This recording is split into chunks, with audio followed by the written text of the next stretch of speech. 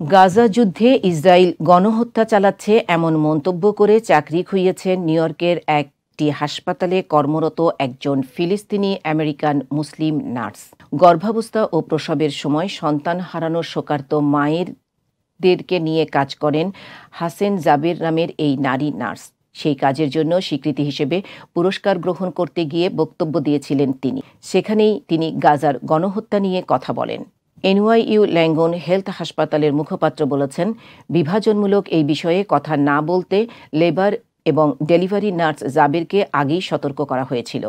Nurse Hasan Jaber জানিয়েছেন, গত সাত মে তাকে পুরস্কার দেওয়া হয়। তখন তিনি বক্তব্য দিয়েছিলেন। এরপরই তাকে বরখাস্তের চিঠি ধরিয়ে দেয় হাসপাতাল কর্তৃপক্ষ।